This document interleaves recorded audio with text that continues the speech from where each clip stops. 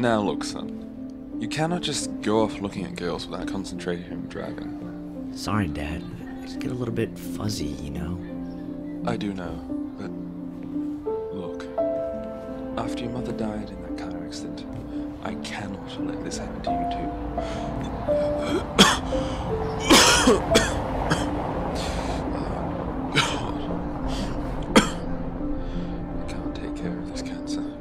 I know for what happened, Dad, but let's just go back home and you get some rest. I might try to find some medicine or anything to get rid of the cancer.